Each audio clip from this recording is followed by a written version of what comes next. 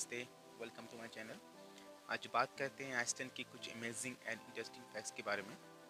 जैसे कि आप लोग देख रहे हो Iceland Arctic ocean and Atlantic ocean के बीच में एक कंट्री है विथ नो बॉर्डर ये एटीन लार्जेस्ट आइलैंड है दुनिया में। इसकी कैपिटल का नाम है रेयाविक चलो आप देखते हैं उसकी कुछ इंटरेस्टिंग फैक्ट्स के बारे में।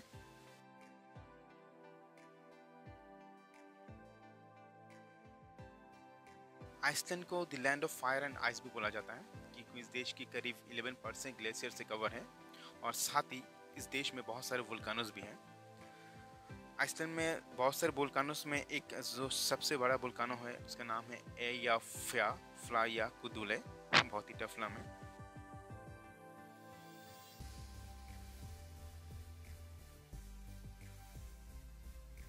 ब्लू लगून बेसिकली एक हॉट टब है ये एक मेन मेड यानी एक आर्टिफिशियल लेक है, जहाँ आपको स्टीम देखने को मिलेगा और इसका पानी बहुत हॉट भी होता है, जहाँ पे लोग नहाते हैं फ्रेश होते हैं।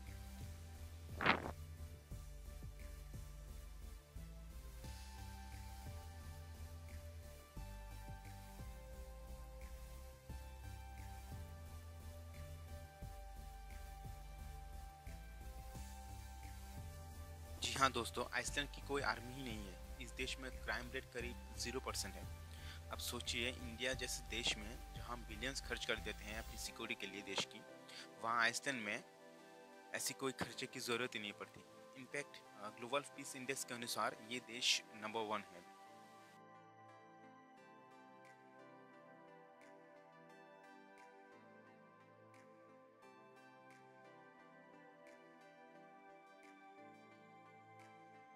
अब ये बात मुझे बहुत अच्छी लगी। अब सोचो, आपको कोई ना गुड नाइट एंड मच्छरदानी की ज़रूरत है और ना कोई मलेरिया की टेंशन आइसलैंड की एनवायरनमेंट ही ऐसी है कि वहाँ पे कोई मस्कीटो ही नहीं है।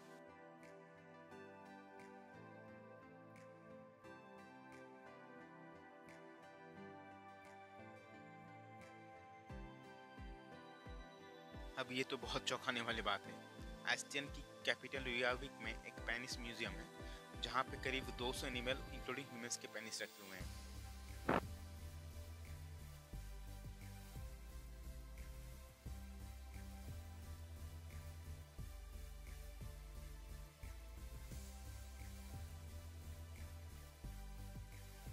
आइसलैंड में कोई ट्रेन की सुविधा नहीं है। कोई रेलवे नहीं है वहाँ पे।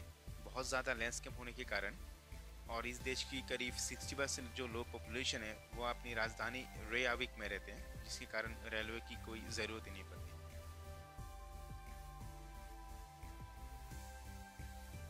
In terms of percentage Iceland में सबसे ज़्यादा राइटर्स और ऑथर्स हैं।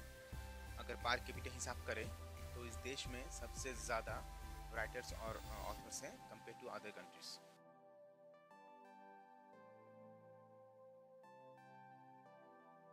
northern lights basically एक नेचुरल लाइट्स हैं जो हाई लेटीट्यूड रीजन में देखने को मिलते हैं।